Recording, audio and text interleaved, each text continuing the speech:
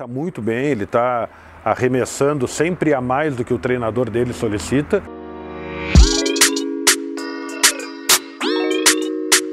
A intensidade, muitas vezes, quando a intensidade aumenta, ele não consegue, não consegue na primeira sessão de treino chegar naquela intensidade, mas na próxima ele já chega. Ele está aqui buscando o sonho dele, que na verdade não é mais sonho dele, é sonho nosso também.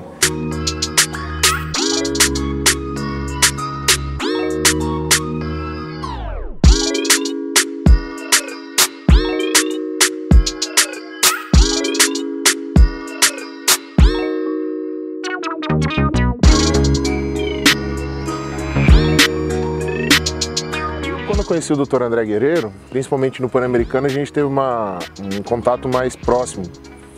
Ele, ele sabe, não, vem conhecer Pelotas, vem conhecer Pelotas, vem conhecer Pelotas. Quando ele pegou o avião em Porto Alegre, eu disse: procura pegar do lado esquerdo da aeronave que tu vai curtir o visual de toda a Lagoa dos Patos, que é a maior lagoa do mundo. Ele brincou, ele falou: ó, senta na janela do avião e vem curtindo a paisagem. Você vai ver a maior lagoa do mundo, né? A Lagoa dos Patos.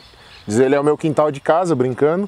Ele falou é o, o a Praia do Laranjal. Nós temos aqui próximo a Praia do Cassino, que é a maior praia em extensão do mundo. E para mim me chamou muita atenção. Eu falei, sério que tem tudo isso? Aí a gente veio curtindo. Quando chegamos, a minha esposa, ela, nascida e criada em São Paulo, ela chegou, nossa, que cidade bonita, amor. Gostei de Pelotas.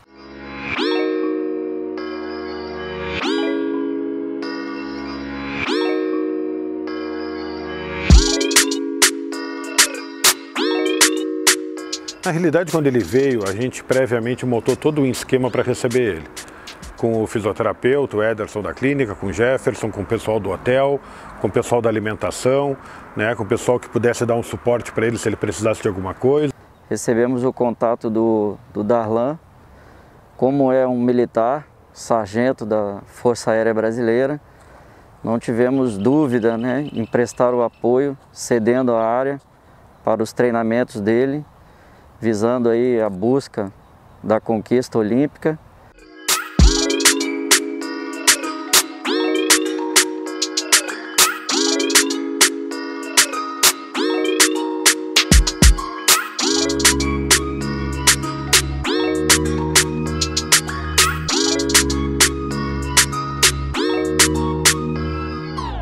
Quando nós soubemos, o André nos comunicou que ele viria, uh, teve todo um, um, por trás desse tudo, né? Teve uma preparação, um estudo de movimento, uh, do gesto desportivo dele, a parte biomecânica, saber qual musculatura que a gente precisava trabalhar. É, um atleta de alto nível ele leva o corpo na excelência, né? É performance pura, é, pesos, atividades que um ser humano normal não consegue realizar.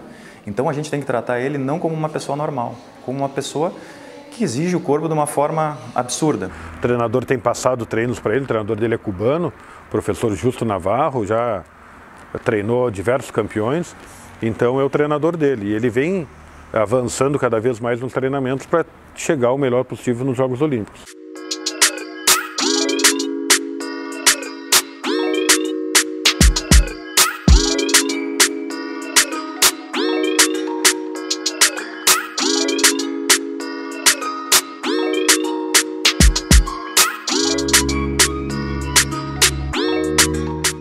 Eu te dizer que eu tenho uma vida fora do, do esporte, eu não tenho. Eu levanto, estou pensando em treino. Vou tomar café, estou pensando em treino. Vou, treino. Quando eu vou para casa, já vou pensando que eu tenho que descansar, almoçar rapidinho, para poder descansar, para voltar a treinar. Então a gente tem que se abdicar muito da família, precisa abdicar de, de tudo, de festa, de amigo, de um churrasco no final de semana, tem que se abdicar de muita coisa que você não ir conhecer e passear, porque na segunda-feira o, o bicho pega no treino.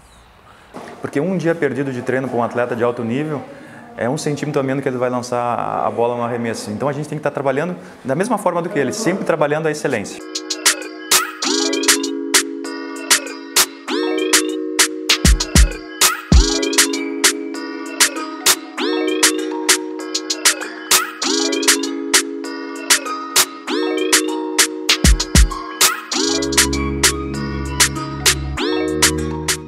Você chega numa competição, eu não estou lá para competir contra ninguém. Eu tô lá para competir contra, contra eu mesmo. Eu tenho que fazer o meu, eu tenho que cumprir o meu, eu tenho que correr atrás do meu. Mas por trás da gente, você tem treinador, você tem companheiro de treino, você tem fisioterapeuta, você tem médico, você tem massoterapeuta, você tem psicólogo, você tem nutricionista, você tem toda uma equipe da confederação, você tem toda a equipe do Comitê Olímpico por trás. Então não é só você, é uma equipe muito grande que ninguém vê, mas são fundamentais nessa, nessa parte do trabalho, né? É aquela coisa, é um sonho, né? Coisas pequenas a gente não costuma não gostar de acordar cedo para fazer. Os grandes a gente nem dorme, né? Então, muitas vezes, muitas reuniões, minha, do Edson, do André, até tarde na noite, programando, uh, vendo como nós iríamos fazer esse processo todo, que é para ele chegar o melhor possível uh, uh, na Olimpíada, agora em julho, né? Porque a gente começa a entender a história. Onde a gente entende a história dele, mais a gente admira ainda. Porque para chegar onde ele chegou, com baixo investimento que existe no país, esses caras são super-heróis, cara, e a gente tem que aproveitar cada segundo que a gente está no lado deles.